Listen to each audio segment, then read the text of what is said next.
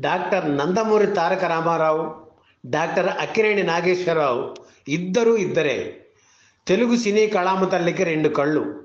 తెలుగు చిత్ర పరిశ్రమలో హీరోలకు కొరతగా ఉన్న రోజుల్లో ప్రవేశించిన వీరిద్దరూ తమ ప్రతిభతో అత్యున్నత స్థాయికి చేరుకొని తెలుగు జాతి గర్వించదగ్గ చిత్రాలను ప్రేక్షకులకు అందించారు. వీరిద్దరి మధ్య పోటీ పోలిక వారి జయాపజయాలే తొలి తెలుగు సినిమా చరిత్ర అనడం అతిశయోక్తి కాదు. ఎన్టీఆర్ ఏఎన్ఆర్ నట జీవితంలో పంతొమ్మిది వందల అరవై ఎనిమిదవ సంవత్సరానికి ఒక ప్రత్యేక స్థానం ఉంది. ఆ ఏడాదే వీరిద్దరికీ పద్మశ్రీ పురస్కారం లభించింది. దీంతో ఎన్టీఆర్ ఏఎన్ఆర్ తమ నట జీవితంలో అత్యున్నత దశకు చేరుకున్నట్లయింది. ఎన్టీఆర్ ఏఎన్ఆర్లకు ఒకేసారి పద్మశ్రీ పురస్కారం లభించడానికి ఆనాటి ఆంధ్రప్రదేశ్ ముఖ్యమంత్రి కాసు బ్రహ్మానందరెడ్డి కారణం. ఆయన పదవిలో ఉండగానే తెలుగు చిత్ర పరిశ్రమను మద్రాసు నుంచి హైదరాబాదుకు తరలించడానికి ప్రయత్నాలు ప్రారంభమయ్యాయి. ఇప్పుడు నగర శివార్లలో ఉన్న హయత్ నగర్లో బ్రహ్మానంద చిత్రపురి పేరుతో ఫిల్మ్ సిటీ నిర్మాణం ఆ ప్రయత్నంలో భాగమే. ఏఎన్ఆర్ అప్పటికే మద్రాసు వదిలి హైదరాబాదుకు మకాం మార్చారు. బ్రహ్మానంద చిత్రపురిలో ఎన్టీఆర్ దర్శక నిర్మాత ఎల్వి ప్రసాద్లకు స్థలాలు కేటాయించారు బ్రహ్మానందరెడ్డి. ఏఎన్ఆర్ నటించే చిత్రాల షూటింగ్స్ సారథి స్టూడియోలో జరిగేవి. సరిగ్గా ఆ తరుణంలోనే ఎన్టీఆర్ ఏఎన్ఆర్ మధ్య అనుకోని కారణాల వల్ల దూరం పెరిగి వైరం మొదలైంది.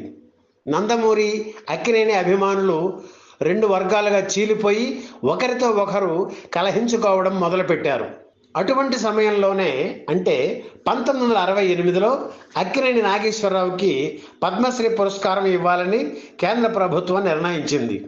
ఆయన ఒక్కడికే ఇస్తే గొడవలు మరింత పెరుగుతాయని భావించిన ఆంధ్రప్రదేశ్ ముఖ్యమంత్రి బ్రహ్మానందరెడ్డి ఎన్టీఆర్కి కూడా పద్మశ్రీ ఇవ్వాల్సిందేనంటూ గట్టిగా సిఫార్సు చేశారు. అలా ఎన్టీఆర్ ఏఎన్ఆర్లకి ఒకేసారి పద్మశ్రీ పురస్కారం లభించాయి. తెలుగు చిత్ర పరిశ్రమకు చెందిన ఇద్దరు అగ్ర హీరోలకు ఒకేసారి పద్మశ్రీ లభించడం అదే మొదటిసారి. ఆ ఏడాది అంటే పంతొమ్మిది వందల అరవై ఎనిమిదిలో ఎన్టీఆర్ ఏఎన్ఆర్లతో పాటు మరో ముగ్గురు బాలీవుడ్ చిత్ర ప్రముఖులకు కూడా పద్మశ్రీ పురస్కారాలు లభించాయి. వారు దుర్గా కోటే వైజయంతి మాల సునీల్ దత్. ఎన్టీఆర్కు పద్మశ్రీ పురస్కారం ప్రకటించడానికి సరిగ్గా ఒకరోజు ముందు ఆయన నటించిన నిలువు దోపిడీ చిత్రం విడుదలైంది. అందుకే ఆ తరువాతి వారం నుంచి నిలువు దోపిడీ సినిమా ప్రకటనల్లో పద్మశ్రీ ఎన్టీఆర్ నటించిన చిత్రం అని ఇవ్వడం ప్రారంభించారు. అలాగే నిలువు దోపిడీ చిత్రం హిట్ అయిన కారణంగాను ఎన్టీఆర్కి పద్మశ్రీ వచ్చిన సందర్భంగా చిత్రం వసూళ్ళలో కొంత మొత్తాన్ని కొన్ని విద్యా సంస్థలకు కళా పరిషత్తులకి విరాళంగా ఇచ్చారు నిర్మాత విశ్వేశ్వరరావు. పద్మశ్రీ పురస్కారం వచ్చిన తర్వాత విడుదలైన అక్కినేని తొలి చిత్రం బ్రహ్మచారి. అందుకే ఆ సినిమా పబ్లిసిటీలో పద్మశ్రీ అక్కినేని నాగేశ్వరరావు నటించిన చిత్రం అని ఇచ్చేవారు.